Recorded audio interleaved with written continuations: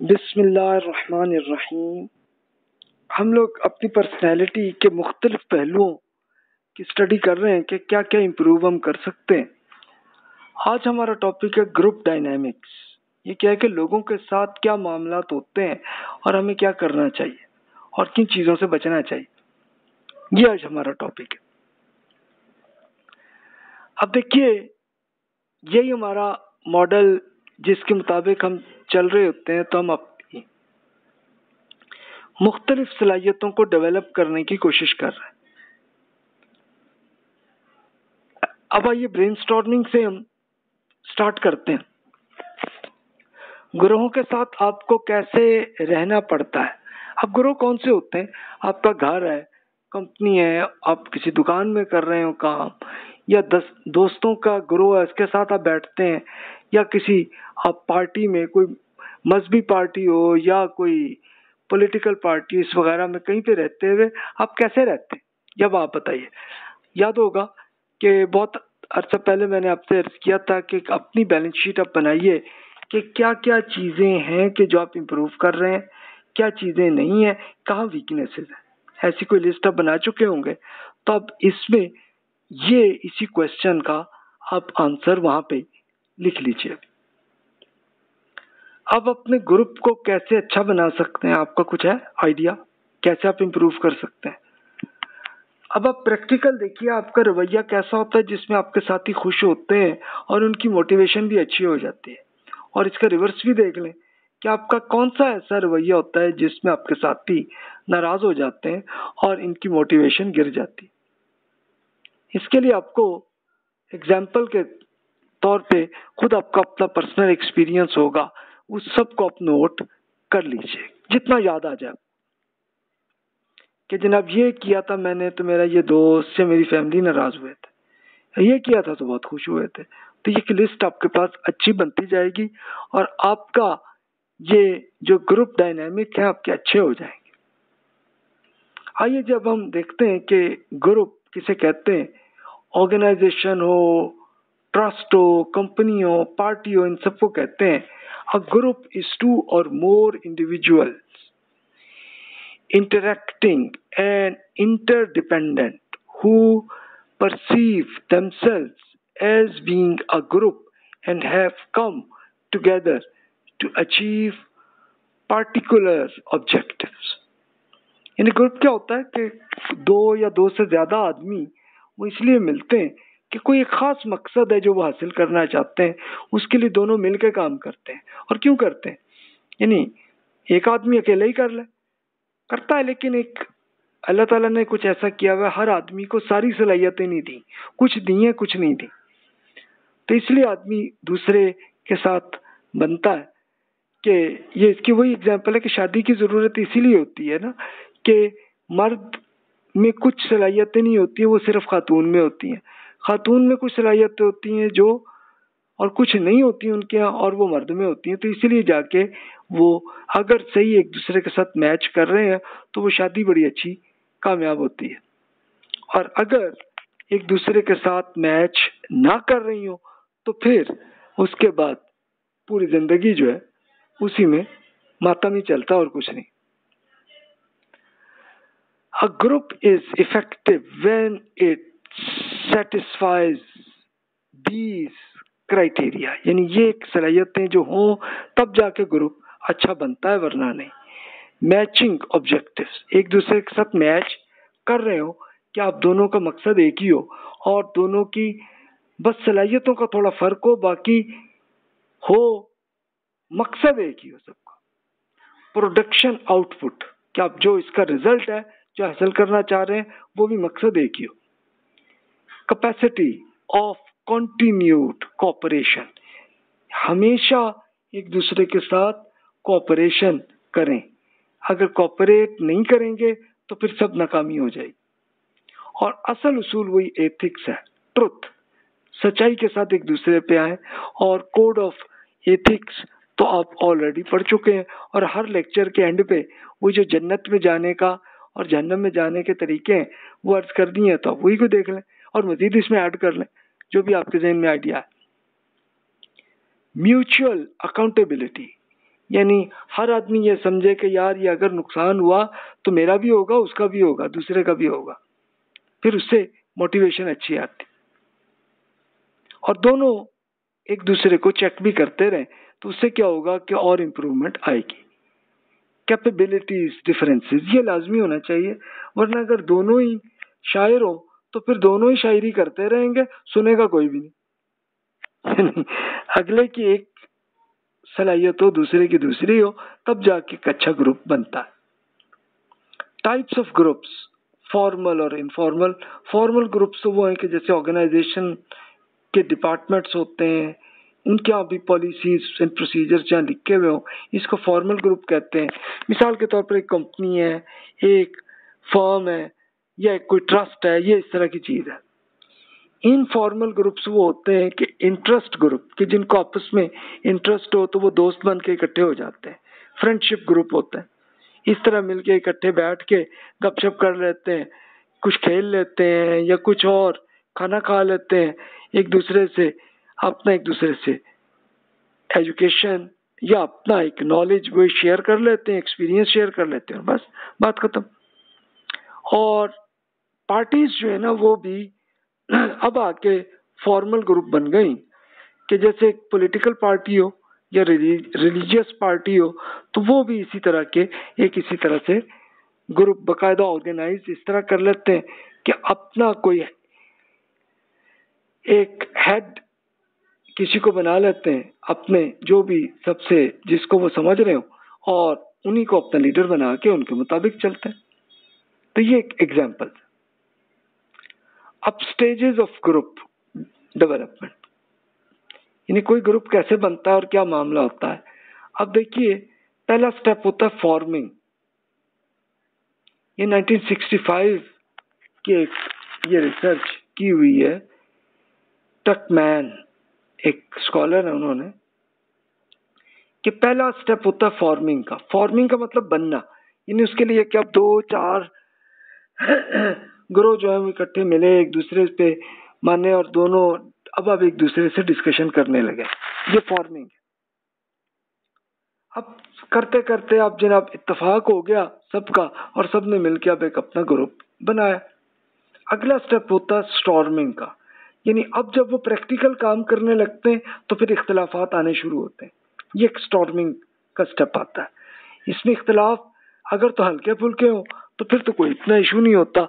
Resolve हो जाते हैं, लेकिन ज़्यादा सख्त हो तो फिर ज़्यादा प्रॉब्लम्स आ रही होती। इसके बाद फिर तीसरा स्टेप नॉर्मिंग कि जब आपस के इख्तलाफा ठीक हो जाते हैं, अगर हो जाए तो। ना हो तो खत्म हो जाता मामला, और जितने इख्तलाफा आते हैं, वो हल हो जाए। तो फिर अब एक बाकायदा एक तरह का ग्रुप बन जाता है, जिसका हेड कोई बन जाता है। कोई पार्टी कह लें ग्रुप कह लें कंपनी कह लें, जो मर्ज़ी कह लें। आप भी फेसबुक में ऐसे ग्रुप बना रहे होंगे तो ये चीज़ है। इसके बाद फिर तब जाके चौथा स्टेप होता है परफॉर्मिंग का, कि अब वो जाके परफॉर्म करते हैं और जो जो काम करना है वो करने लगते हैं। एक्शन कर रहे होते हैं। हर एक की मोटिवेशन अगर ज़्यादा है तो बड़ा अच्छा काम चल रहा होता है और चलता चलता चलता चलता फ़ायदा भी हासिल हो रहा होता है कि अगर एक बिज़नेस करना है तो सब मिलके कर रहे हैं प्रॉफिट आ रहा अगर कोई पॉलिटिकल पार्टी बनानी है तो वो बना ली है। तो बना के अब आपने इलेक्शन तक आना है। उसके लिए आपने तैयारी करनी है। उसके लिए सारे मामला तो कर रहे होते हैं ना लोग। तो लोग, ये वो मामला है। इसके बाद आखिरी स्टेप एडजॉर्निंग भी होती है कि जब ये बिल्कुल अपना मकसद पूरा हो जाता है तो पूरा हो जाए, उसके बाद अगर एक खास प्रोजेक्ट के लिए हो तो मामला खत्म। सब सलाम दुआ करके चले गए।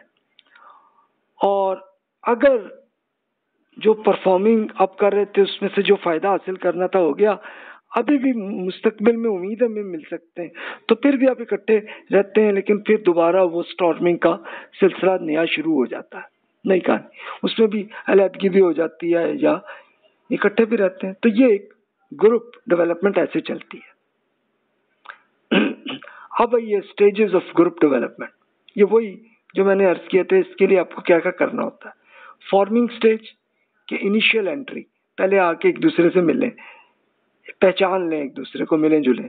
गेटिंग टू नो डिस्कवरिंग सोचें, गौर करें, एक दूसरे से डिस्कशन करें अंडरस्टैंडिंग एंड डिफाइनिंग रूल्स क्या जी ये ऐसा मगर ये ग्रुप बना लें इसमें आप ये करेंगे, आप ये करेंगे, इसमें ये होगा ये होगा। हर एक आइडिया देगा ना तो करते करते आएगा। इसके बाद दूसरा स्टेप स्टॉर्मिंग का आ जाएगा जब इख्तलाफात आएँगे। डीलिंग एक दूसरे को डील करना और इमोशनैलिटी एग्रीमेंट कि एक दूसरे में ज़रूरत से ज़्यादा जज्बाती हो गए तो फिर तो लड़ाई होनी। इसलिए जज्बाती होके नहीं, बल्कि लॉजिकली एक दूसरे से अच्छे अच्छे एटीट्यूड से करते जाएँ कि अगले को बुरा ना लगे। और डिसएग्रीमेंट रिजॉल्विंग को भी हल करें।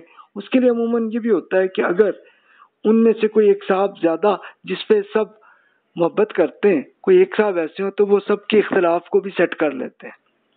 और ये ना हो तो फिर ज़रा मुश्किल होता है।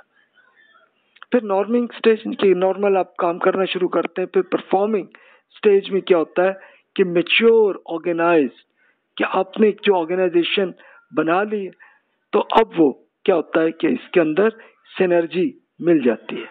और आपका फ़ायदा हासिल होने लगता है। सिनर्जी क्या? है सिनर्जी को उर्दू में सिंपल आप कह लें कि एक और एक ग्यारह। यानी एक और एक क्यों इकट्ठे मिलते हैं कि जब मिलते हैं तो उसका ग्यारह बेनिफिट मिलते हैं। ये जो बात है, किसी ने जज्बाती तौर पे की है, लेकिन बात ठीक है। कॉम्प्लेक्स टास्क स्पेशली जो कॉम्प्लेक्स मामला होता है तो वो फिर एक आदमी नहीं चला सकता। इसलिए दो, तीन, चार ऐसे मिलने पड़ते हैं। मिसाल के तौर पर हो सकता है कि आप एक फॉर एग्ज़ाम्पल एजुकेशनल इंस्टीट्यूट आप बना रहे हैं।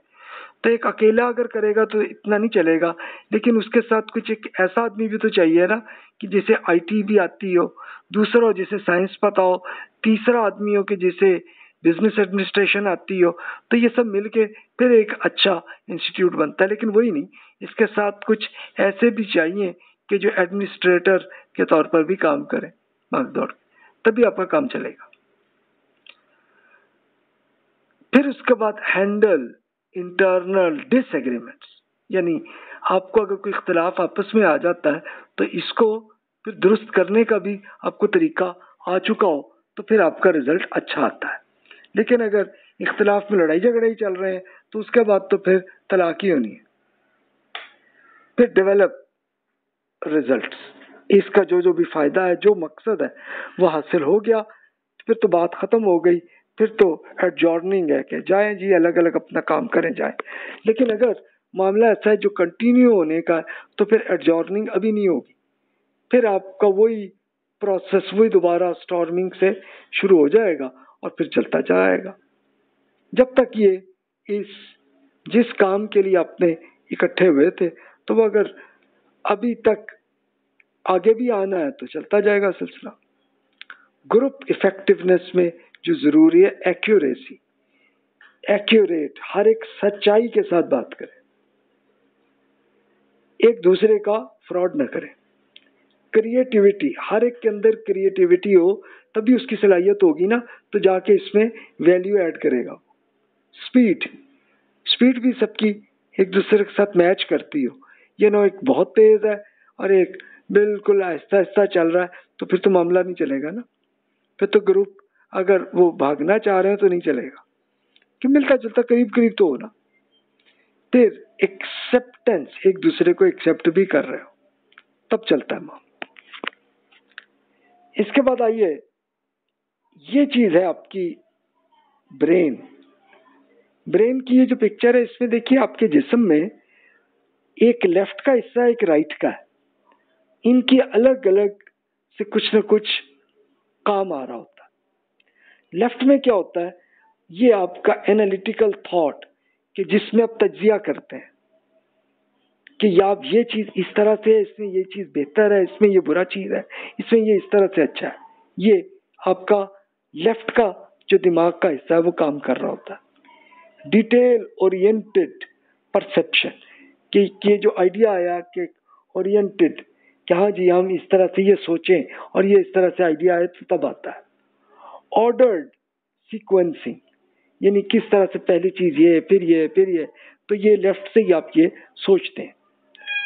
रैशनल थॉट हर एक आप में अगर लॉजिकल तरीके से आप कर रहे हैं, तभी आपका दूसरे के साथ ये मामला चलेगा, वो भी लॉजिकल हो। लेकिन दोनों ही जज्बाती हो तो फिर नहीं चलेगा। फिर तो लड़ाई झगड़े ही हो।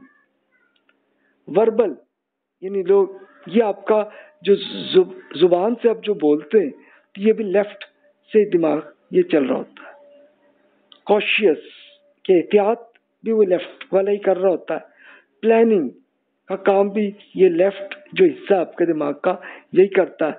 और फिर उसके बाद मैथ साइंस की ये जो काम है, ये वही एनालिटिकल थॉट्स हैं तो ये सब वहीं से चलते हैं। लॉजिक अकल भी वहीं चलती है। राइट फ़ील्ड विजन कि ये सही है, ये दुरुस्त है। राइट स्लाइड मोटर स्किल्स की तरह ये इस तरह से ये सिलसिला ऐसे चलता है। अच्छा राइट को देखें तो ये थोड़ा जज्बाती हिस्सा होता है हमारे ब्रेन का, जिसमें स्पेशली थॉट आइडियाज़ आपको आते हैं। होलिस्टिक परसेप्शन कि जिसके अंदर नए नए आइडियाज़ आपको आने लगते हैं परसेप्शन आती है हाँ भी ये चीज़ ऐसी होनी चाहिए, ये हो। इस तरह के ये जो आइडियाज़ आपके वहाँ पे राइट पे कर चलते हैं काम। रैंडम सीक्वेंसिंग यानी इसमें कोई एक, दो, तीन करके नहीं चलता सिलसिला, बल्कि ये आइडिया कभी अचानक किसी वक्त आ जाता है। कभी हो सकता है सोते हुए आ जाए, कभी हो सकता है कि आप ट्रेवल करते हुए आ जाए। ये किसी वक्त भी आ सकता है। इमोशनल थॉट यानी आपके यहाँ थोड़ा सा जज्बा होता है तभी मोटिवेशन भी आती है ना। नॉन वर्बल आप इसमें कोई ज़्यादा, वो अल्फाज में अब इस तरह से बात नहीं होती, बल्कि बस सिर्फ़ एक आइडिया जज्बाती से आता है, इसको फिर लेफ़्ट का हिस्सा जो है ना, वो फिर अल्फाज में इसे कन्वर्ट करके और फिर आप इसको एक लिख सकते हैं इसे नोट कर सकते हैं। एडवेंचर्स का ये जो शौक आता है, ये वहीं से ही आता है राइट से आपके। इम्पल्स इम्पल्स इम्पल्स ये होती है, अचानक आइडिया आया यार ये, और आप फिर उसमें सोचने लगते हैं, ये करें। क्रिएटिव राइटिंग आर्ट के लोगों में ये राइट का हिस्सा जिनका ज़्यादा मज़बूत हो तो वो अच्छा लिख लेते हैं आर्ट भी अच्छा बना लेते हैं। हो सकता है ड्रामा भी अच्छा कर लेते हो, जिसमें राइट कमज़ोर हो तो वो फिर ज़्यादा साइंसदान ही बनते हैं। इमेजिनेशन इमेजिनेशन वो है कि आइडियाज़ का ये ये तस्वुर आना। ये वहाँ पे आता आपका सिलसिला। तो इसको लेफ़्ट फ़ील्ड विजन आपको कहते हैं कि राइट से आपके दिमाग में ये आता है। तो अब देखिए कि इससे भी राइट का हिस्सा भी जिसम का आपके ब्रेन का ये भी काम करता है, राइट भी करता है। दोनों बड़े अच्छे लेवल पे चल रहे हो तो फिर आपकी ब्रेन से बड़े अच्छे अच्छे रिज़ल्ट आते हैं। ये भी हम ब्रेन कर रहे थे तो इस पे आप जरा सोचिए, आपका लेफ़्ट ज़्यादा काम करता है या राइट ज़्यादा काम करता है? ये भी एक अच्छा सवाल बन गया आपके लिए। और अगर दोनों बराबर चल रहे हैं तो माशाल्लाह बड़ा मौजदा है ग्रुप डायनामिक्स के अंदर जो इम्पोर्टेंट काम की चीज़ें, इसमें आप सोच सकते हैं कि आप दोस्तों के साथ या फैमिली के साथ या पार्टी या कंपनी या फर्म की शक्ल में आप काम कर रहे हैं तो याद रखिए power of human resources in a group क्योंकि ग्रुप में फ़ायदा इंसानों की सलाहियतों से ही आता है। वरना अगर एक आप किसी, अपने डिसीज़न मेकिंग में अगर ब्रोकर एक, उसको भी आप अपने रोबोट को भी डाल दें। तो वो कैलकुलेट करके अच्छा आपको बता देगा, इससे ज़्यादा कुछ नहीं कर सकता वो। फैसला इंसान को ही करना होता है। अब ह्यूमन हिस्ट्री आपको याद होगा जो मैंने अर्ज़ की थी कि आदम इस्लाम से इंसान की हंटिंग एज शुरू हुई थी। कि जब आदमी यही होते थे, जो ज़रूरत पड़ी जनाब, कहीं ना कहीं किसी, जो भी जानवर मिला, पकड़ लिया, उसको दबा कर लिया, खा लिया, या अगर आपने दरख्त से या पौधे से कुछ लेना है तो पकड़ा और काट लिया। वो इतना ही थी सिंपल थी। लेकिन फिर आहिस्ता आहिस्ता जब उनकी तादाद ज़्यादा आई तो उन्होंने उसके तरीके भी सीख लिए, इंसान ने। लेकिन नूर इस्लाम के ज़माने से फिर इंसान को आया कि यार एग्रीकल्चरल एज जिसको हम कहते हैं सेवेंटी फाइव थाउज़ेंड बी से लेके ये सिलसिला शुरू हुआ। फिफ्टीन हंड्रेड तक वैसे ज़िंदा तो अभी भी है हंटिंग एज अभी भी जारी है एग्रीकल्चरल एज भी जारी है, लेकिन मेन हिस्सा अब नहीं है, पहले था। तो उसमें क्या होता कि इंसान अपने जानवर भी संभालता, रखता, उनका केयर करता, और इसी तरह फिर इन पौधों के लिए आप खेत बनाते, अपने कुछ न कुछ अच्छे तरीके से बाग आप बनाते रहे। फिर इंडस्ट्रियल एज आई तो इंसान ने टेक्निकली मुख्तलिफ़ चीज़ों को बना के मशीनों की शक्ल बनाया। ये 1500 से बना, आज भी जारी है। लेकिन 2000 तक मैं इसलिए कर रहा हूँ कि ये वो टाइम था कि जब ये इकोनॉमी का मेन हिस्सा था। इसके बाद हम अगले एज में आ गए अब, जिसको हम रैपिड चेंजेस वाला दौर आ गया ग्लोबलाइजेशन इन इंफॉर्मेशन एज है 2000 से लेके आज तक जारी। ये वो पीरियड है कि जिसमें आपकी इकोनॉमी मेन चल रही है आपके इंटरनेट के ज़रिए। एजुकेशन भी ऐसे चल रही है। आपकी इसी तरह से आपका बैंक जो है वो भी ऐसे ही चला रहे हैं। तो इकोनॉमी का मेन हिस्सा बन गया है। तो इसलिए ह्यूमन रिसोर्सेज की ज़्यादा ज़रूरत है, क्योंकि सर्विसेज़ की अब सब ज़्यादा ज़रूरत न्यू साइकोलॉजिकल कॉन्टेक्ट अब वो बन रहे हैं नए नए यानी नफ्सियात के अंदर नए नए आइडियाज़ थ्योरीज वो भी बन रही हैं। कल्चरल डाइवर्सिटी के मुख्तलिफ़ कल्चर के लोग एक दूसरे से अब मिल रहे हैं और अब उससे नए नए आइडियाज़ आ रहे हैं। उसकी एक एग्ज़ाम्पल आप देखिए। आपके अपने मुल्क में देखिए, कई मुल्कों के खाने आपको मिल जाते हैं। अच्छा दूसरे मुल्कों में देखें, वहाँ पे भी ऐसे ही। तो अब देखें कि एक मिसाल है। ऐसे ही एक दूसरे के आइडियाज़ हम शेयर कर रहे हैं। और मैं भी अब ये इंटरनेट के ज़रिए क्यों ये अर्ज़ कर रहा हूँ कि अपने सारे भाई बहन कहीं किसी भी और मुल्क के भी हो तो उन तक भी ये मैसेज पहुँच जाए कि पर्सनैलिटी कैसे हम डेवलप कर सकते हैं। सबको फ़ायदा मिल जाए। इसी तरह उनको भी जो आइडिया है, वो भी हमसे शेयर करें। Why do you understand the behaviour with groups तो हम अभी ये ग्रुप्स की स्टडी कर रहे हैं तो इसमें रवैये का क्या ताल्लुक है? जब आप जवाब देंगे। कि ग्रुप के साथ जब आप काम करते हैं तो फिर बिहेवियर आपके रवैये में क्या फ़र्क आता है? To learn about yourself and how to deal with others पहले काम यही है कि आप पहले अपने आप को समझें, फिर साथ साथ दूसरों को भी समझ लें, तभी आपका ग्रुप अच्छा चलेगा ना। You are part of a group now and will continue to be part of various organizations, parties families की शक्ल पे आप फिर आप बन गए। लेकिन पहले एक दूसरे को ज़रूर समझ लें। Groups are increasingly expecting individuals to be able to work यानी ये तभी ग्रुप बनेगा ना कि जो भी साथी आपके साथ आ रहे हैं तो वो भी उनका इंटरेस्ट वही है कि जो आपका है, तभी जाके ये ग्रुप चलेगा, वरना बंद हो जाएगा, सब वो अलग हो जाएँगे। फिर some are managers and team leaders and some are part of a team इसके लिए बेस्ट यही तरीका है कि जो आदमी जिसका माहिर है, जिसका ज़्यादा तजर्बा है और जिसका ज़्यादा सलाहियतें हैं तो उसको वो काम दे। तब अच्छा रिज़ल्ट आएगा। अदरवाइज़ मिसाल के तौर पर आप मिसाल के तौर पर अगर आप कोई एक मैच आपका ऑब्जेक्टिव है, इसमें आप जीते तो क्रिकेट आप खेल रहे हैं तो अगर आप उल्टा काम शुरू कर दें कि जिनको बैटिंग अच्छी आती है, उनको बॉलिंग पे लगा दें, और जिनको बॉलिंग अच्छी आती है, उनको बैटिंग पे लगा दें तो काम तो उल्टा हो जाएगा ना, ये ना करें।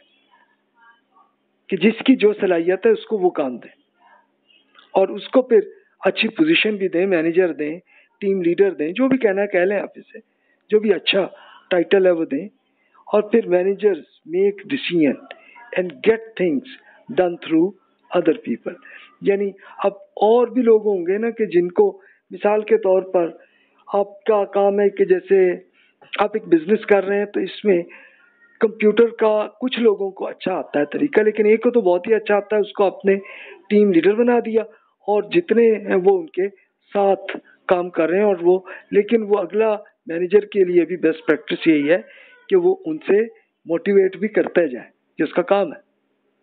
उनको अप्रिशिएट करता जाए, ताकि अगले की सलाहियतें भी आती जाए आती जाए, और तब जाके एक अच्छा ग्रुप अच्छी ऑर्गेनाइजेशन बन जाएगी। तो ये behaviour of all person in a group ये आपको याद होना चाहिए। हेरिडिटी हर एक की नस्ल या नस्ल आप सिंपल आप कह हैं अपने माँ बाप के लिहाज से हर एक में कुछ न कुछ फ़र्क होता है। और उस फ़र्क में सलाहियतों में भी फ़र्क आता है। इंडिविजुअल डिफरेंसेस फ्रेमवर्क आपको ये मालूम होना चाहिए कि हर एक की पर्सनैलिटी क्या है परसेप्शंस क्या है, वो कैसे समझता है चीज़ों को। एटीट्यूड्स उसका रवैया कैसा है और बिहेवियर कैसा है। तो इसमें मसलन कोई आपको पहले साहब ही मिले कि जिसमें लगा कि मामूली सा भी मामला हो तो उसमें जनाब वो तो लड़ाई कर, करा देते हैं। तो इनको फिर शामिल ही ना करें।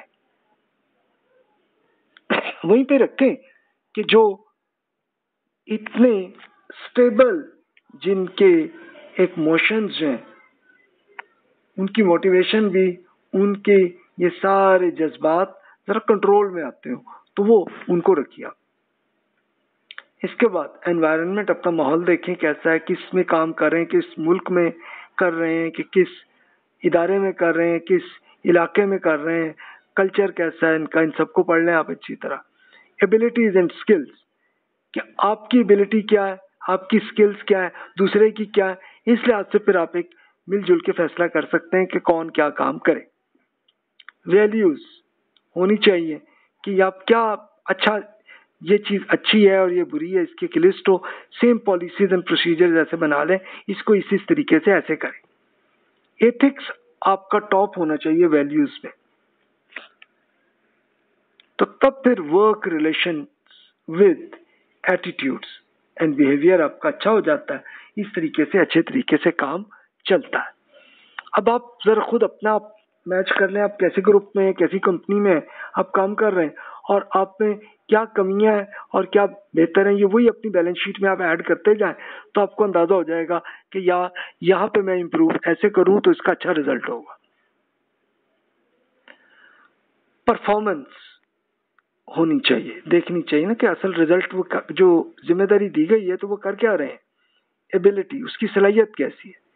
मेंटल एंड फ़िज़िकल कैपेबिलिटीज एक जहनी सलाहियत भी होती है और एक जिसम की भी होती है तो ये कैसी है इनकी? और मैच कर रही है इंटेलेक्चुअल एबिलिटीज कि इसकी लॉजिकली इंटेलेक्चुअल तरीके से एक बहुत गहरे स्टडी के अंदर वो कैसे उसमें फैसले करते हैं, इस चीज़ों को ज़रूर देखें। मोटिवेशन इनकी कैसी है? इनका क्या मामला और मेरी मोटिवेशन क्या है? अपॉर्चुनिटीज़ आती हैं कि हमें क्या मौका मिल रहा है, मैं क्या इसमें करूँ? और वो आप दें सजेशन, मसलन आप अगर एक जूनियर पोजीशन पे है तो आप अपने मैनेजर को ये सजेशन दें कि जनाब मैं इस काम का अच्छा कर लेता हूँ प्लीज़ ये मुझे दें। वो अगर दे दें तो आपका अच्छा रिज़ल्ट आ जाएगा। फिर उसके बाद लेकिन असल चीज़ वो ये एथिक्स एंड वैल्यूज़ ही हैं कि जो आपकी आएँगी, जिसमें ख़ास तौर पे अचीवमेंट क्या आप जो काम कर रहे हैं तो इसको करके दिखाएँ अच्छी तरह। कंसर्न फॉर अदर्स दूस, एक दूसरों को केयर करने की आप कोशिश करें यानी अगले की बुराइयाँ ना करें बल्कि अगले को जिस चीज़ की ज़रूरत है उसकी हेल्प उनको दें। ऑनेस्टी एक सच्चाई के साथ आप एक दूसरे के साथ मामला को करें। फेयरनेस एंड इस इम्पार्शल कि कोई तासुब ना हो और बिल्कुल फेयरनेस तरीके से, बिल्कुल जिस चीज़ को जैसे सही समझ रहे हैं, ऐसे उसको बयान कर दें। अगला अपनी तरह कर ले, उसके बाद मिलजुल के आप सोच सकते हैं। कैसा? कैपेबिलिटी ऑफ़ मैनेजर्स और टीम लीडर्स में क्या क्या सलाहियतें होनी चाहिए? अगर आप मैनेजर बन गए तो ये ये सलाहियतें होनी चाहिए। और नहीं है तो अभी ठीक कर रहे हैं रिकग्नाइज इंडिविजुअल डिफरेंसेस ये समझ लें कि हर आदमी दूसरे से डिफरेंट होते हैं। जैसे आप सोचते हैं तो आपकी टीम में जो लोग होंगे, वो आपकी तरह नहीं सोच रहे होंगे। फ़र्क होगा। ये पहले समझ लें। यूज़ गोल्स एंड फीडबैक के जो मकसद है, वो मकसद हर एक को पहले वन टू वन अलग अलग करके उनको बताएँ और फिर उसके बाद फीडबैक भी दें हाँ जी, ये बिल्कुल आपने इस तरह से ऐसे हो गया। बिल्कुल सही दैट्स गुड ये इसका फ़ायदा क्या होगा कि अगले की एक रेपुटेशन भी अच्छी रहेगी और इसके साथ मोटिवेशन भी अच्छी हो। Allow your team members to participate the decisions that effect them कि जब आप कोई फैसला करने हो कई चीज़ें हो तो अच्छा है कि आप अपनी टीम के साथियों को ले आए, बुला के इशू बता दें और इसमें अपना आइडिया बता दें, उनका भी ले लें, मिलजुल के लेके। फिर आप फैसला मिलजुल के करें। वरना क्या होगा कि अगले में कोई मोटिवेशन नहीं होगी अगले को। देखिए, मिलजुल के होगी तो फिर मोटिवेशन होगी कि यार मैं भी इसका हिस्सा हूँ। मैंने ये सोचा है और मेरी बात को माना गया। चाहे कभी एक को माने, कभी दूसरे को माने, ताकि सबकी मोटिवेशन रहे ना। Link rewards and punishment to performance ये भी शुरू से बता दें कि जनाब, अगर ये ना हुआ, आपने ये ना किया तो फिर जनाब, ये होगा आप ताकि वो अगला पहले तैयार होगा तो फिर वो गलती नहीं करेगा। और कभी एक दफ़ा नई गलती आ गई इग्नोर भी करें और मोहब्बत के साथ, इज़्ज़त के साथ बता दें कि भी इसमें इस तरह से बचना है। Check the system for equity यानी ये होनी चाहिए आपका एक पूरा ऐसा सॉफ्टवेयर होना चाहिए। ये ना है तो एक्सेल में आप कर लें कि जनाब इस बंदे की ये सलाहियत इतनी आ गई, इसकी ये आ गई, इसकी ये आ गई, ये इम्प्रूव हो गया, इनकी है, इनके इम्प्रूवमेंट की ज़रूरत है। आप मैनेजर है ना तो आप इन सबको समझा सकते हैं। इसके बाद स्ट्रेटजीज फॉर मोटिवेटिंग टीम अपनी टीम को मोटिवेट करें। बिहेवियर मॉडिफिकेशन आपका अगर रवैया गलत है, अगले को बेइज्जत करते हैं तो इसको छोड़ दें। उनको बड़ी इज़्ज़त के साथ उनकी गलती बताइए, ताकि अगले को बुरा ना लगे। Job design of each person according to his और हर इंटरेस्ट एंड एबिलिटी उसकी जहाँ सलाहियत है, जहाँ उनका शौक है, उनको वही काम दें। चैलेंजिंग वर्क कुछ चैलेंज वाला काम आए तो उसके लिए आप ये करें, ताकि उसमें मोटिवेशन ज़्यादा आती है लोगों में। तो कभी एक को दे दें, कभी दूसरे को दे दें, इस तरह से आएगा। और फिर age of your team members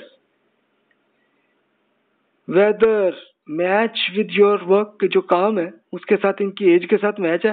हो सकता है कोई बिल्कुल नौजवान लड़कों को ये काम पसंद आता है तो फिर आप अपने ऐसी टीम में किसी नौजवानों को भी रखें ना। और जो काम सिर्फ़ बुज़ुर्गों को ही पसंद आता है तो फिर उनको वही काम दें। और जो दरमियानी एज में है तो उनको जो पसंद है, वही दें। अथॉरिटी मैट्रिक्स ज़रूर होना चाहिए। अथॉरिटी मैट्रिक्स में होता है कि जनाब, ये काम है जो आपकी इजाज़त आप कर सकते हैं। और उसके लिए भी कोई लिमिट होनी चाहिए ताकि अगर जनाब फॉर एग्जांपल मिसाल के तौर पे पेमेंट ही करनी है तो जनाब, आप जो है ना पेमेंट कर सकते हैं up to ten thousand rupees इससे ज़्यादा की नहीं। इससे ज़्यादा होगी तो आप फिर अपने मैनेजर से पूछ लीजिएगा। अच्छा मैनेजर जो उसके लिमिट हो तो वो मसलन फिफ्टी थाउज़ेंड हो। कि ठीक है फिफ्टी थाउज़ेंड तक तो वो कहेगा। अगर इससे ज़्यादा तो फिर वो अपने सीईओ से या हेड से या जनरल मैनेजर जिसको अथॉरिटी दी हुई है, उसको मानता को तो फिर फ़ायदा क्या होगा कि इसकी एक की गलती दूसरे से ठीक होती जाएगी। और ऐसा एक फॉर्मल पॉलिसीज़ एंड प्रोसीजर्स भी है कि हर एक को पता हो, इसको ऐसे करना, इस तरीके से करना, इन चीज़ों से बचना। तो ये एक इम्प्रूवमेंट आ जाए इम्प्रूव प्रोडक्टिविटी अगर आप मोटिवेट करना चाह रहे हैं लोगों को तो तब ले जाके एक प्रोडक्टिविटी अच्छी आएगी रिज़ल्ट अच्छे आएँगे। Reduce the size of the group यानी ग्रुप अगर इतना ज़्यादा होगा ना तो फिर कोई कब, कभी नहीं आएगा कुछ भी। ये फिर इस तरह के एक चीज़ बन जाती है। अगर आपने मिसाल के तौर पर बड़े हिसाब से कोई सौ, दो सौ बंदे इकट्ठे करके और उसमें कुछ फैसला करने लगे तो ये बिल्कुल वही चीज़ होगी कि जैसे एक ही डब्बे के अंदर बहुत सारे मेंढक इकट्ठे हो गए। कोई सही वो फैसला नहीं होगा फिर। तो इसलिए कम रखें ग्रुप को और अगर आपकी बड़ी ऑर्गेनाइजेशन बन गई है तो फिर उनके हर एक पार्ट्स को अलग अलग कर लीजिए, ताकि वो अपनी हद तक ही रहें। ताकि वो हो गई कि पाँच छह साथी होंगे, मिलकर हो जाएगा मामला। Increase motivation of each group members her group का जो हेड होगा तो वो अपनी अपनी टीम को मोटिवेट करता रहेगा, उसकी रिस्पॉन्सिबिलिटी दें। Increase group cohesiveness and productivity norms कुछ ऐसे तरीके ऐसे बता दें कि जिसको, उनको ट्रेनिंग भी करा दें, ताकि एक, हर एक एक ही रास्ते से जाए। ये इसकी एक एग्जांपल आप ये देख सकते हैं कि जैसे अगर कई आदमी गाने वाले आ जाए और हर एक का अलग अलग स्टाइल एक ही तरह का या डांस हर एक का अलग अलग है तो वो सारे इकट्ठे वेग करें तो फिर कुछ कोई रिज़ल्ट नहीं आएगा। यानी एक दूसरे के साथ मैच करते हो। और फिर ग्रुप्स कम्युनिकेशन स्ट्रक्चर ऐसा ढांचा हो के जो कि अच्छे तरीके का हो, जिसमें किसी को बुरा ना लग रहा हो। Try to minimise the task complexity and make it easy जो भी ज़्यादा कॉम्प्लेक्स मामला आ रहा हो तो फिर इसके लिए आप ये करें, उसके हिस्से बना दें। ये हिस्सा एक ग्रुप को दे दें, दूसरा दूसरे को दे दें तो फिर अच्छा रिज़ल्ट आएगा। अदरवाइज़ हर कोई कंफ्यूज हो जाएगा। अगर वही आप कहेंगे कि जनाब everyone has this responsibility तो इसका मतलब होता है कि there is no responsibility to anyone फिर कोई भी नहीं ज़िम्मेदारी लेता। आप दूसरा कर लेगा। बात खत्म। फिर उसके बाद कंफर्टेबल एनवायरनमेंट माहौल अच्छा हो। जिसमें किसी को तकलीफ़ ना हो रही हो इनफॉर्मल एटमॉस्फेयर ऐसा हो कि जिसमें इनफॉर्मल तरीके से आए मामला चले मामला एक दूसरे से कभी बड़ी इज़्ज़त के साथ मज़ाक भी कर ले और वो अच्छी तरीके से चलता जाए मामला। वरना अगर एक कोई जो मैनेजर होगा या जनरल मैनेजर होगा, वो आके बैठ के बीच में बड़ा एक रोब वो करने लगेगा तो फिर वो हिटलर बन जाएगा और कुछ नहीं होगा। रिलैक्स्ड एनवायरनमेंट हो फ्लेक्सिबिलिटी टाइम होना चाहिए। ये अभी तक पाकिस्तान में कल्चर नहीं बना, लेकिन कुछ कंपनीज़ ने किया है। तो इसको अब देखिए कि जिस आदमी को जब सलाहियत ज़्यादा अच्छी चलती है, उस टाइम पे हुआ है वो करेगा give each responsibilities to one person no responsibility is responsibility of all ये बराबर ही है। यानी अगर आप एक ग्रुप में कोई रिस्पॉन्सिबिलिटी दे रहे हैं, ये ना कहें ऑल ऑफ़ देम बल्कि एक बंदे को जो भी हेड होगा, उसको दे और वो फिर अगलों से करवाएगा। वरना फिर कोई भी नहीं कुछ करता। Participate each team member with the team leader अब टीम लीडर अच्छा होना चाहिए, जिसका एटीट्यूड सब अपनी टीम के साथ अच्छा हो, मोहब्बत के साथ हो तो फिर ताल्लुक अच्छा बनता है। वरना होगा यही कि उनकी टीम मेंबर वहाँ से भागने की कोशिश करेंगे। People express feeling and ideas इनको करने दें अप्रिशिएट करने दें कि हर ग्रुप में आपकी जो भी डिपार्टमेंट आपने बनाया है या टीम बनाई है, उसमें से हर बंदा अपना आइडिया शेयर करे। इससे क्या होगा कि इसका फ़ायदा अच्छा रिज़ल्ट आता है, उसकी मोटिवेशन भी आती है। और प्लस ये है कि एक अच्छा आइडिया भी आ गया और वो दूसरों को भी आ गया तो फिर उस पर अमल भी हो जाता। है कॉन्सेंसस डिसीज़न मेकिंग मिलजुल के फैसले करें। यानी ये नहीं कि एक आदमी, एक डिक्टेटर बन के वही बस फैसले कर रहा हो, बाकी बस उस पर अमल कर रहे हो। नहीं जी, मिलजुल के करें। कॉन्फ्लिक्ट मैनेजमेंट थ्रू एथिक्स अगर कोई इख्तलाफ हो जाए तो तब भी ये एथिक्स लाजमी होने चाहिए कि जनाब इज़्ज़त के साथ ही इख्तलाफ करें। और रिक्वेस्ट के तौर पर ही स्टाइल में हो जाए। यानी स्टाइल अगर ये बन जाए तो फिर गुस्सा नहीं आता किसी को। ऐसा करें। Use talent of each person with work हर आदमी को अपने काम की रिस्पॉन्सिबिलिटी भी दें, जो काम उनको पसंद है वही दें तो फिर देखिए कि अच्छा रिज़ल्ट आएगा। तो जनाब, फिर आप देखिए इफ़ेक्टिव टीम तभी आपकी बनती है। यानी आप ये देखिए कि एटमॉस्फेयर एंड रिलेशनशिप अच्छे होंगे, रवैये अच्छे होंगे, फिर आपके मेंबर पार्टिसिपेशन एक दूसरे के साथ हेल्प भी कर रहे होंगे। एक को सलाहियत आती है, दूसरे को नहीं, दूसरा दूसरे को सिखा देगा तो अच्छा हो जाएगा रिज़ल्ट गोल अंडरस्टैंडिंग एक दूसरे को समझ लें एक्सेप्टेंस भी दें एक दूसरे को। ये नहीं कि इसकी हर चीज़ पे इख्तलाफ करें, बल्कि कबूल भी तो कभी करें ना। लिसनिंग सुने भी एक दूसरे को और शेयरिंग एक दूसरे से इंफॉर्मेशन शेयर करें। फिर उसके बाद ट्रेनिंग भी एक दूसरे की करते रहें। हैंडिंग कॉन्फ्लिक्ट एंड डिसएग्रीमेंट हो तो इसको भी इज़्ज़त के साथ एक दूसरे के इख्तलाफ करें तो फिर आपका रिज़ल्ट अच्छा होगा। डिसीज़न मेकिंग थ्रू कॉन्सेंसस मिलजुल के ही फैसले करें। ये ना हो कि एक डिक्टेटर ही आया हो, ये ना हो। वरना फिर सबकी मोटिवेशन रुक जाती है। फीडबैक इवेल्युएशन ज़रूर आप करें हर अपनी टीम के मेंबर की कि जनाब हाँ आपकी ये रिस्पॉन्सिबिलिटी थी, आपने ये कर लिया, इतना हुआ।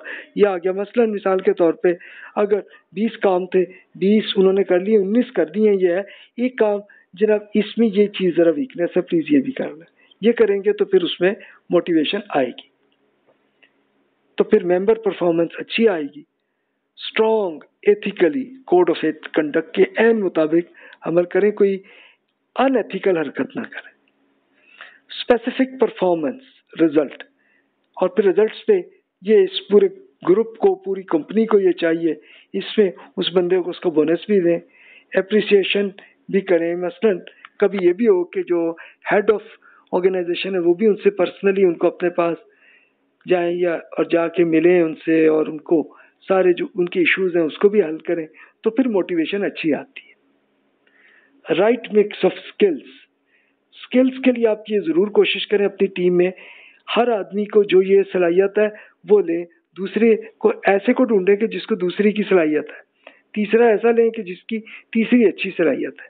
तो इनके लिहाज से आपका एक राइट मिक्स ऑफ़ स्किल्स बन जाएगी। Improve creativity allow disagreement in the opinions अगर आप यही डिक्टेटर बन जाएँगे और कहेंगे कि नहीं जनाब, जो मैं कह दूँगा तो बस जनाब वही कानून बन जाएगा। तो फिर तो अगले की मोटिवेशन उनका कोई शौक नहीं होता फिर आपका काम करने का। तो डिसएग्रीमेंट की दें और उनकी अगर गलती भी हो तो कहें कि हाँ लेकिन देखिए कि इसको इस पहलू से भी आप देख लें, इसमें ये चीज़ इस लिहाज से तो अगले को भी समझ आ जाएगी तो फिर आपका वो इख्तलाफ हल हो जाएगा। अब जनाब हम इस पे आते हैं who to make decision making कौन फैसला करेगा? ये डेल्फी टेक्निक है। डेल्फी टेक्निक आपको अर्ज़ में कर दे तो वहीं से आपको अंदाज़ा हो जाएगा। पहला स्टेप अंडरस्टैंड द सिचुएशन मामला क्या? इशू क्या है? डिफाइन द प्रॉब्लम कि प्रॉब्लम क्या मसला क्या ये वही जो पिछले लेक्चर में हमने बात ये चली थी। फिर डिफाइन ऑब्जेक्टिव क्या मकसद क्या, क्यों करना चाह रहे हैं? डायग्नोज द प्रॉब्लम प्रॉब्लम क्या इशू क्या है? मसले को क्या हल करना है? क्यों करना है? फिर उसके बाद डेवलप ऑल्टरनेटिव इसके क्या क्या हल हो सकते हैं? सारे सोच लें। अब कई बंदे सोच रहे होंगे तो सारे आइडियाज़ आ जाएँगे। इवेल्युएट अल्टरनेटिव ऑल्टरनेट के देखें, इसमें ये करें तो ये अच्छा होगा, ये हो तो इसमें ये मसला भी है, ये है इसमें। सोचते चले जाए जितने कोई आठ दस इशू जितने सामने, इन्हीं उस इशू को रिजॉल्व करने के आठ दस तरीके आ गए। फिर उसके बाद चूज़ बेस्ट ऑल्टरनेटिव ये अब ज़ाहिर की टीम का जो हेड है वो फिर फैसला करेगा कि जनाब इसमें सबसे अच्छा तरीका ये है, इससे हम ये हल कर सकते हैं। इसके बाद फिर इम्प्लीमेंट करें एक्शन करें। देखिए, कुरान मजीद ने यही हुक्म में इरशाद फरमाया, अमरहम शूरा बैना। के इज्तमाही मामला में मिलजुल कर फैसला किया करें। ये सूरह शूरा, जो फोर्टी टू नंबर सूरत है, इसकी थर्टी एट नंबर आयत है। तो ये डेल्फी टेक्निक देखें सेम वही है, जो अल्लाह ताला ने फरमाया तो सेम वही जो सोशल साइंसेज और साइकोलॉजी के ज़रिए लोगों ने जो तरीके समझे हैं, जो अपने तजर्बे से देखे, वो सेम वही है। वर्चुअल टीम एक बड़ा अच्छा तरीका होता है। एथिक्स तो लाजमी होना चाहिए। इसका एक चेकलिस्ट भी होना चाहिए कि अगर अनएथिकल कोई हरकत हुई हो तो फिर उसको सबके सामने नहीं, अलग करके उनको बताएँ कि भाई ये देखें, ये चीज़, इससे अगले को बुरा लगा। तो अगला भी फिर खुद वो भी अंदाज़ा हो जाएगा और वो फिर जाके माजरत भी कर लेगा जाके। अवॉइड नॉट आस्किंग क्वेश्चंस अगर आप क्वेश्चन को एक, उनको घोंट देंगे उनकी तो फिर तो जनाब अगले की मोटिवेशन भी रुक जाएगी। ये ना कर। अब आइए अमरूम शुरा बैनूम में सैयद अबुल मौदूदी साहब स्कॉलर ने अपने एक्सपीरियंस की बेसिस पे उन्होंने एक एक तफसील अर्ज़ की है तो वो मैं आपसे शेयर कर लेता हूँ। उनकी बुक तफीमुल कुरान, जो तफसीर है कुरान पाक की। तो देखिए कि उससे वो हमारी वीकनेसेस सामने आ जाएँगी कि उन्होंने जो एक्सपीरियंस शेयर किया। अब वो कहते हैं, इस चीज़ को यहाँ अहल ईमान को बेहतरीन सिफात में शुमार किया गया है, जो सूरा आल इमरान में इस काम दिया गया है कि मिलजुल के आप फैसला किया करें। यह बिना कर मुशावरत इस्लामी तर्ज ज़िंदगी का एक अहम सुतून है एक सुतून है बाकायदा और मशवरे के बगैर इज्तमाही काम चलना, चलाना ना सिर्फ़ जाहिलियत का तरीका है बल्कि अल्लाह के मुकर किए हुए जबते के सरी खिलाफ वर्जी है। मुशावरत क्या है? मिलजुल के मशवरा करना। डिस्कशन करके फैसले करना यह इसको इस्लाम में अहमियत क्यों दी गई है? इसकी वजह पर अगर गौर किया जाए तो तीन बातें वाजे तौर पर हमारे सामने आती एक ये कि जिस मामले को ताल, का ताल्लुक दो या जायद आदमियों के मफाद से हो तो इसमें से एक शख्स का एक अपनी राय से फैसला कर डालना और दूसरे मुतलक अशखास को नज़रअंदाज कर देना जाती है।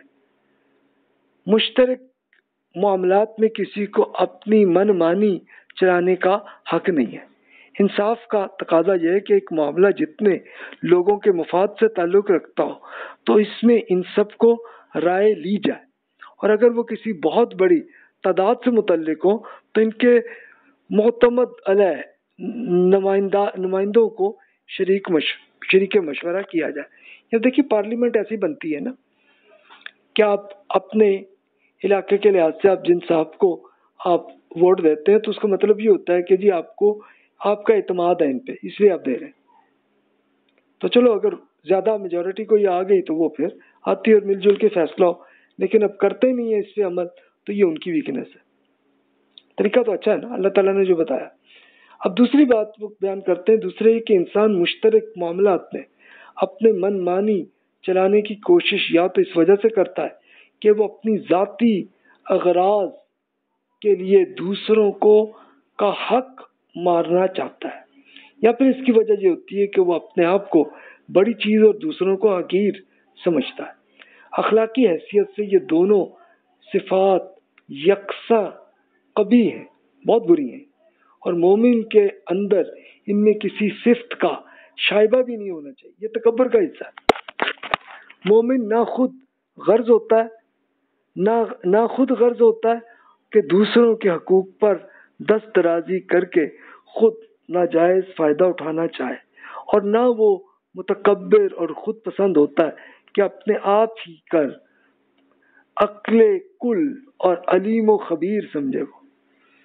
अब इसको प्रैक्टिकली आप देख लीजिए कि आपके ये जितनी पॉलिटिकल पार्टीज़ हैं, इनमें किस तरह से यही होता है तरीका या वो हम रूम शुरा वाइनों पे अमल करते हैं? ये अब आप खुद तजिया कीजिएगा। आप सुनते ही है ना उनकी खबरें। अब तीसरी में वो फरमाते हैं कि ये कि जिन मामला का ताल्लुक दूसरों के हकूक और मफाद से हो, इनमें फैसला करना एक बहुत बड़ी ज़िम्मेदारी है। कोई शख्स जो खुदा से डरता हो और ना ये जानता हो कि इसको कितनी सख्त जवाबदेही उसे अपने रब के सामने करनी है, कभी इस भारी बोझ को, तनहा अपने सर लेने को की ज़रूरत नहीं करेगा। यानी एक्चुअली ये रिज़ल्ट है। प्रैक्टिकली मैं बताऊँ कि उमर रदी के ज़माने में एक बड़ा डिसीज़न करना था उन्होंने। उससे पहले ये होता था कि जब जंग हुई, फतह हुई तो उसमें से जो जो भी चीज़ें मिल जाती तो अब वही मिलिट्री के सब लोगों के दे दिया जाता था। कुरान मजीद में अल्लाह ताला ने फिर बताया कि भी ऐसे केसेस में ट्वेंटी परसेंट वो गवर्नमेंट को दे दिया करें एटी परसेंट आप, वो रहा सिलसिला। अब हुआ यह कि उमर रदी के ज़माने में कई मुल्क फतह हुए। तो इसमें बहुत जरखेज एरियाज़ थे, बहुत अच्छे अच्छे ज़मीनें थी और वो गवर्नमेंट की थी। यानी पहले रोमन एम्पायर और पर्शियन एम्पायर की थी। तो वो आ गई। तो अब लोगों ने यही कहा कि जनाब, हम लोगों ने फतह की है तो हमें दें वो ज़मीन। इससे फिर उमर रदी ने अमरूम शुरा बैनों पे अमल किया। उन्होंने जितने साहबा कराम को इकट्ठा किया, कुछ और कबीलों के थे, उनके सरदारों को भी बुलाया कि आप आइए, मदीना में आ गए। आके डिस्कशन की और ये छह दिन तक डिस्कशन चलती रही। अब देखिए कि उमर अदी खलीफा थे और वही फैसला कर लेते तो मामला ख़त्म होता नहीं, उन्होंने ये पूरी डिस्कशन की। करके और फिर उन्होंने कहा कि देखिए, आप सूरतुल हजाब में उन्होंने ये पढ़ा और फिर अगली सूरत में आके देखिए, अल्लाह ताला ने ये बताया कि भी आपका जब इसमें इतना कोई काम नहीं हुआ तो फिर ये अल्लाह और उसके रसूल के पास होना है और वो इससे लोगों की खिदमत करें तो भी ये अप्लाई होना चाहिए।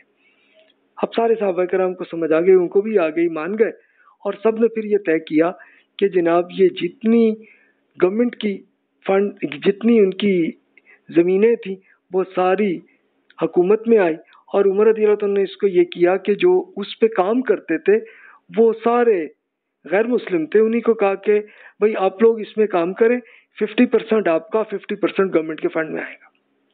वो हैरान हो गए। कहते, जी अच्छा हमें तो टेन परसेंट मिलता था तो आप इतना ज़्यादा दे रहे इसी पर वो लोग, उनको फिर समझ में आया और आहिस्ता आहिस्ता उन्होंने समझा और ईमान दिलाए वो। रिज़ल्ट फिर ये हुआ। और फिर ये भी हुआ कि अब उसमें से जो भी फिफ्टी परसेंट वाला भी इतनी बड़ी प्रोडक्शन हर ज़मीन में जो आती थी, उसको वो लेते तो फिर उसमें से एक एक आदमी को ले जा ले जाके डिलीवर करते थे। उसके लिए हर गवर्नर को ये ऑर्डर था कि भी आप जो है इसमें से ये लेके तकसीम करके हर हर फैमिली को आप जाके डिलीवर करें। वो कराते होते थे। ठीक है, ज़ाहिर है कि उनकी पूरी टीम होती होगी, सब ले जाके करते होंगे। एक बार उमर अदीलत ने ये देखा कि खातून है उनके पास, ये पूरा खाने की चीज़ें नहीं है। उनको इतना अफसोस हुआ कि वो फ़ौरन गए और जाके उन्होंने अपने वेयर हाउस से पूरा निकाला, जितनी बोरियाँ थी उठा के। अब उनके टीम ने कहा कि जी, हम उठा के नहीं नहीं, भी मेरी ज़िम्मेदारी है। तो वो ले जाके उन खातून के गए और जाके कहा, बहन, ये आपकी जो है ना, ये आपके लिए ये एक तोहफा। वो बड़ी खुश हुई। वो तब वो बूढ़ी खातून थी तो उनसे पूछा, जी, आप ये बताइएगा, उम्र की खातून की हुकूमत जो कैसी चल रही है? वो कहते, भी मुझे तो पसंद नहीं है। मेरा बस हो तो मैं उसको हटा के तुम्हें खलीफा बनो उसके बाद फिर कुछ अरसे बाद खातून को पता चला, ये उम्र अधीरा तो नहीं तो बड़ी शर्मिंदा हुई फिर। तो देखिए, ये असल तरीका है आने का। अब आप ये देखिए कि मौदूदी साहब ने फिर मजीद तफसील में कहा कि बताइए कि अगर आदमी गौर करे कि इसकी समझ में ये बात अच्छी तरह आ सकती है कि इस्लाम जिस अखलाक की इंसान को तालीम देता है मशवरा उसका लाजमी तकाजा है। और इससे इनहराफ एक बहुत बड़ी बद बद अखलाकी है, जिसकी इस्लाम कभी इजाज़त नहीं दे सकता। अब आप खुद पढ़ लीजिए, आपको अंदाज़ा हो जाएगा कि उन्होंने बहुत अच्छा एनालिसिस किया इसमें। अब देखिए, अमरूम शूरा बैनम में, फिर वो बयान करते इसमें पाँच बातों का तकाजा करता है। यानी ये पाँच चीज़ें हो, तभी अमरूम शूरा बैनम होगी ना। मिलजुल का फैसला तभी होगा। अब पहली बात, ये पाँचों बहुत इंपॉर्टेंट बात है। अव्वल ये कि इज्तमाही मामला लोगों के हकूक और मफाद से मुतलिक होते हैं, इन्हें इजहार राय की पूरी आज़ादी हासिल हो और वो इस बात से पूरी तरह बाखबर रखे जाए कि उनके मामला फिलवाक़ किस तरह चलाए जा रहे हैं। यानी पूरी इंफॉर्मेशन भी उन तक आए और इनको पूरी आज़ादी भी हो कि अपनी बात वो कर सके। ये हो तो तभी मामला होता।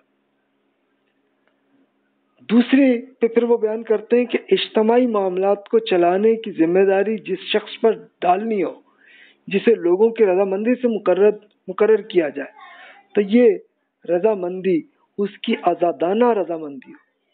जबर और तखफीफ से हासिल की हुई, या तखरीस और इतमा से खरीदी हुई या धोखे या फरेब से कोई घसोटी हुई रजामंदी और हकीकत रजामंदी नहीं है। प्रैक्टिकली आप देखें तो हमारे यहाँ पार्लियामेंट में ऐसा ही होता है। कि हर आदमी अपने ज़र्फ के साथ जो उसको समझ आ रही है, उस तरह वो उनको नहीं कहा जाता, उनको कहा जाता है वैसे कहो जैसे तुम्हारे लीडर कह रहे हैं। अनफॉर्चुनेटली अभी तक हमारे यहाँ ये कल्चर जारी है। अच्छा तीसरे का फिर वो बयान करते हैं कि सरबराह कार को मशवरा देने के लिए वो लोग मुकर किए जाएँ जिनको कौम का अतमाद हासिल हो। और ज़ाहिर बात है कि ऐसे लोग भी सही मानों में हकीकी अतमाद के हामिल करार नहीं दिए जा सकते जो दबाव डाल के या माल से खरीद कर या झूठ या को, कोई काम लेकर लोगों की गुमराह करके नुमाइंदगी का मुकाम हासिल करें। अनफॉर्चुनेटली तो आप देखें कि हमारी पार्लियामेंट में ऐसा ही होता है। ये हमारे यहाँ वीकनेस है। इसको आप अगर ठीक कर सकते हैं, आप कर लें और नहीं कर सकते तो चले, अपनी आवाज़ तक तो पहुंचाते जाए ना। शायद अल्लाह करे किसी को शूर आ जाए तो ये ठीक हो जाए मामला। अब चौथा फिर वो मशवरा करते हैं, ये कि मशवरा देने वाले अपने इल्म और अपने ईमान और ज़मीर के मुताबिक राय दें। और इस तरह की इजहार राय की इन्हें पूरी आज़ादी हासिल हो। क्योंकि आज़ादी से अगर आप हटा देंगे और एक डिक्टेटर बन जाएँगे तो फिर क्या होगा कि ये बात जहाँ ना होगी। जहाँ मशवरा देने वाले किसी लालच या खौफ की बिना पर या किसी जत्थाबंदी की बुनियाद पर ही वो खुद अपने इल्म और ज़मीर के खिलाफ राय देगा। और इनकी दरकीकत ख़यानत और गद्दारी होगी और ना कि अमरूम शुरा बैनम की पैरवी हो रही होगी। फिर पांचवा, जो वो कहते हैं कि ये मशवरा के अहले शुरा के इजमा और इतफाक के राय से दिया जाए। यानी मिलजुल के डिसीज़न ले। चले, अब प्रैक्टिकली तो हमें यह आ गया ना मेजोरिटी तो कम अज़ कम मान जाए। जिनकी जमहूर अक्सरियत की ताइद हासिल। तो तब इसमें करें। वरना इसमें ये मामला नहीं होना चाहिए। इसमें मुझे वो याद आया, उमर रदी का वाक्य याद आया कि जब वो अपने, अब काफ़ी उम्र आ गई थी तो उनको लगा कि यार किसी वक्त भी अल्लाह का मैसेज आ जाएगा इस ज़िंदगी से निकलने का तो यार अच्छा मामला सही हो जाए। तो लेकिन फिर उन्होंने खुद जुमा के खुतबे में उन्होंने बताया कि भी देखो, अबू बकर सिद्दीक रदी को एक आसानी थी कि वो जानते थे कि सब लोगों को अगर ये बताया जाए कि अगला खलीफा उमर होगा तो फिर सब मान जाएँगे। तो उनको तो आसानी थी, लेकिन मुझे नहीं है। मुझे तो अब चाहिए छह बंदे। हैं क्योंकि कोई लोग पसंद करते हैं कि उस्मान जो है खलीफा बने, कोई चाहते हैं कि अली बने, कोई चाहते हैं कि तलहा बने, कोई चाहते हैं जुबैर बने, फिर अब्दुलरहमान बिन औफ बने तो रदी तो ये सारे हैं तो उन्होंने कहा कि भाई ये करो कि अगर ये स्पेशली उन्होंने वो जख्मी हुए और उनको लगा था कि अब बस मेरी ज़िंदगी जाने का उन्होंने कहा कि भाई आप छः आदमी हैं, आप मिल के फैसला आप मिलजुल के करें, इसमें ये तय कर लें मामला को और मामले को फिर ये है कि इसके लिए फिर उन्होंने लिमिट भी रख ली कि तीन दिन के अंदर आप फैसला कर लें। और उसके साथ फिर उमर अदी शहीद भी हो गए उस जमाने में। तो अब उन छः सहाबा कराम ने मिल में किया तो इसमें अब्दुलरहमान बिन औफ रदी में एक सलाहियत थी कि वो मैनेज बहुत अच्छा कर लेते थे। उन्होंने कहा कि भाई ये करना चाहिए कि हम में से हम तीन तो चलो छोड़ दें मामले को, कि बाकी तीन जो है ना वो फैसला कर लें। अब तीन बाकी मान गए अब्दुलरहमान बिन औफ भी मान गए। अच्छा अब अब्दुलरहमान बिन औफ रह गए थे बाकी और एक उस्मान और अली रदी ये तीनों थे। तो अब्दुलरमान बिन औफ रज़ी ने कहा कि भी आप अगर इजाज़त दें तो मैं और लोगों से पूछ लेता हूँ, फिर लेके एक डिसीज़न ले सकते हैं अगर आप इजाज़त दें। सबने कहा, जी, आप ऐसे ही करें। तो उस वक्त हज ख़त्म हुआ था और बहुत बड़ा सफ़र के लिए आ रहे थे लोग, मदीना से गुजर रहे थे। तो उन्होंने अब्दुलरमान बिन औफ रजीलनुमा ने मर्दों से, ख़वातीन से, सबसे पूछते चले गए। तो मेजोरिटी ये आई कि वो उस्मान रदी को हुक्मरान बनना पसंद करते हैं। तो मेजोरिटी की बेसिस पे उन्होंने फिर ये फैसला किया और अली रज़ी ने उसी वक्त सबसे उनसे बैत की। कि इतना इसमें ये था अमरूम शरा बैनम की प्रैक्टिकल सूरत ये थी। तो जनाब, अब आप इसमें खुद देख सकते हैं, अगर तो आपको ज़बरदस्ती कहा जाए कि जैसे लीडर कह रहा है वैसे ही कहो तो फिर तो आपकी मोटिवेशन ही गिर जाती है। फिर क्या ज़रूरत है? तो इन चीज़ों से अपने बचना अब ये रिजॉल्व प्रॉब्लम्स बिहेवियर्स कि लोगों के रवैये में मसले आ जाते हैं ना तो इसको हल कैसे करना है। प्रॉब्लम्स जैसे diffusion of responsibilities group polarisation conflict बन जाते हैं। यानी आप फॉर एग्जांपल आपकी, जैसे आप डायरेक्टर हैं और टोटल जो है ना आप कोई दस डायरेक्टर्स हैं, उसमें से कोई तीन चार ऐसे हैं कि जो अलग ग्रुप बन गया, तीन चार अलग बन गया, तीन चार अलग बन गया, और आपस में इख्तलाफ हो रहा है, लड़ाई झगड़े होने लगे। ये इशू होता है। तो इसको चूज़ टीम मेंबर्स केयरफुली अब होना ये चाहिए कि आप टीम में स्टार्ट में ऐसे बंदों को ही अपनी टीम में रखें कि जो वाकई काबिल एतमाद हो, जिनका एटीट्यूड अच्छा हो। ऑफ़र ट्रेनिंग एंड ब्रेन करते जाए, इनकी ट्रेनिंग होती जाए ताकि पूरी आपकी टीम और आपका मदाज एक दूसरे के साथ मैच करता हो। प्रोवाइड क्लियर गोल्स हर एक को एक बिल्कुल क्लियर मकसद हर एक को दें कि आपने ये करना है। क्लियरली डिफाइन मेंबर्स रिस्पॉन्सिबिलिटीज बड़ी क्लियर रिस्पॉन्सिबिलिटीज उनको दें। यूज़ पीयर इवेल्युएशन कि फिर ये भी करें कि अभी आप ये जो काम कर रहे हैं इसको ये भी हो कि जनाब आपके साथी जो है आपके भाई जो है ना वो ये चेक करेंगे ताकि कोई गलती है वो भी ठीक कर ले। रिवॉर्ड सुपीरियर परफॉर्मेंस कि जो भी अच्छा रिज़ल्ट आया अच्छा काम किया उसका बेनिफिट भी मिल जाए उसे। Don't let social consideration overwhelm, overwhelm, concern with the task के उसको वही काम ही दें जिसका उनको इंटरेस्ट है। दूसरा ना दें। रिमूव प्रॉब्लम टीम मेंबर तो अब ये इस तरह का आप शुरू से ही कर रहे हो तो फिर लड़ाई नहीं होगी। होगी भी तो बहुत माइनर ही कभी होगी। मोटिवेशन के लिए एम्पावरमेंट भी लाजमी आप अपनी टीम में आपकी टीम है तो इनको फिर इतनी पावर भी तो देना ताकि वो अच्छा काम करें। अगर उनमें काम आप दे रहे हैं और उनको पावर नहीं दे रहे, नहीं कि हर चीज़ के लिए आप अप्रूवल के लिए मेरे पास आए तो अगला फिर काम करने का शौक ही नहीं रहेगा उसमें बिल्डिंग ट्रस्ट के एक अपना एतमाद कायम करने की आप कोशिश करें। लिसन अदर्स अगलों की बात भी सुने तभी आप पे एतमाद आएगा आप लोगों के मसले हल कर रहे होंगे। चाहे आप प्राइम मिनिस्टर बन गए, चाहे आप कंपनी के हेड बन गए, चाहे आप अपना दोस्तों का ग्रुप है, उसमें भी आप ये कर रहे हो, इन हर चीज़ों में ये चलेगा मामला। इम्प्रूव कम्युनिकेशन के एक दूसरे से डिस्कशन जरा अच्छी, खुले तरीके से आए। अच्छा वो ज़्यादा अच्छा है कि आपकी टीम के जो मेंबर है, वो आपसे बात करें। वरना होता है कि वो आपस में एक दूसरे से मिलते हैं, इख्तलाफ आके लड़ाई हो जाती है तो ज़्यादा अच्छा है कि जो हेड है, उसी के साथ वो बात चल रही one to one computer aided decision making इसके लिए सॉफ्टवेयर ऐसे बन गए हैं कि जिनके ज़रिए आप सारी टेक्निक्स और सब कुछ डाल के लेके आपको पता चल जाता है हाँ जी, ये चीज़ ऐसी है। अगर तो नंबर्स का मामला है तो वो तो अच्छा कैलकुलेट हो जाता है। लेकिन चलो अगर कोई अल्फाज में ही बात है तो वो अल्फाज की बात भी आपकी एक जगह इकट्ठी आ जाए तो आप फिर सही तरह से पढ़ सकते हैं।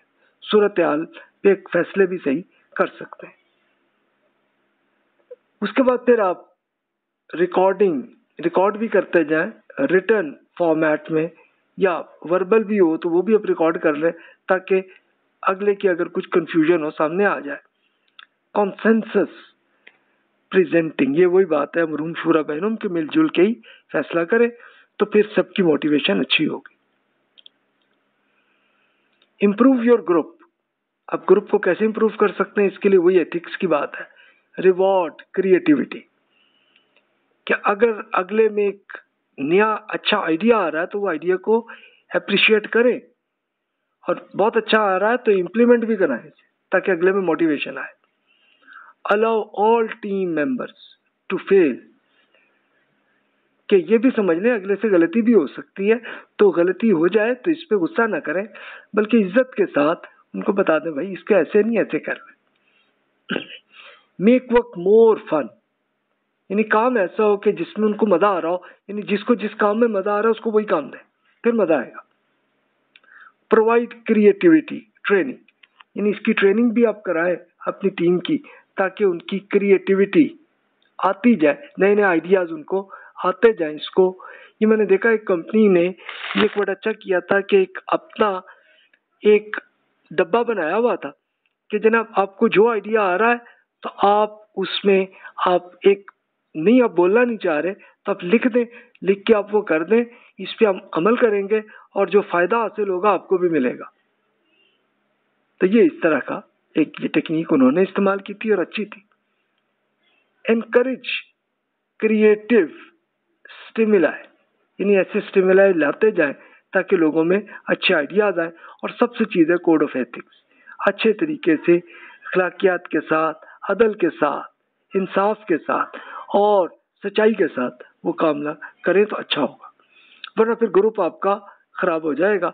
तो जनाब अब वही आपके लिए एथिक्स की एक जस्ट कंप्लीट नहीं है, लेकिन कुछ है कि जन्नत में जाना है तो ये है में जाना है तो ये तो जो जन्नम से बचना चाह रहे हैं तो इन चीज़ों से बचें और ये अच्छे तरीके हैं जिनसे आप जन्नत में जा सकते हैं।